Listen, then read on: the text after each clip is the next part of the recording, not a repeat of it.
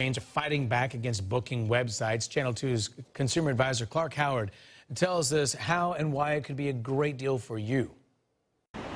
When you're headed out for fun in the sun this summer at the beach or wherever your travel plans take you and you're booking a hotel, I want you to know there is a war going on behind the scenes between hotels and the third-party hotel booking sites, places like Expedia, Priceline, Hotels.com.